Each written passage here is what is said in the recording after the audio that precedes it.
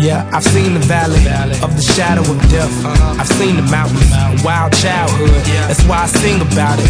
I just try to move on and keep my peace about it. But come to think about it, I can't even count the days that I spent starving trying to find some decent housing. That's why I'm always smiling, but on this beat I seem so violent. So ask me about the music scene and what the fuck I think